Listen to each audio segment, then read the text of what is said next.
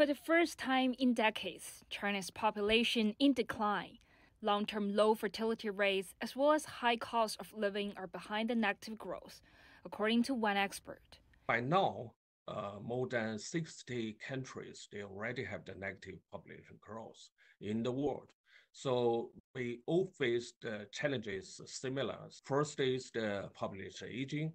The second is the shrinking size of the labor force. And the third may be the rising cost for uh, medical care, long-term care in the future. To encourage couples to have kids, some regions like Shenzhen have started offering incentives such as cash allowances. Professor Du said tax cuts, affordable housing, and more friendly work environments could also help, as well as support for the huge numbers of migrant workers and those born after the 1960s.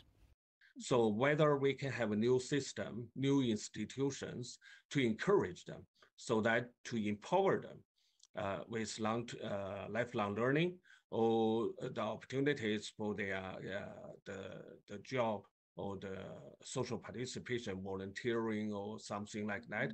If you look at the current policy after the retirement age, if they want to take a new job, it's not a supportive policy mm -hmm. for them.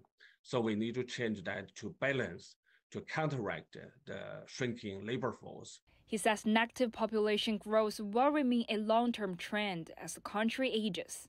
And this shift could bring China to reflect on its policy focus and growth mode. We need to shift from the, uh, the development model from because we have a shrinking labor force, but we have much higher education background how to play the role of the educational dividend for the further development and not just focus on the labor force number to keep the economic growth.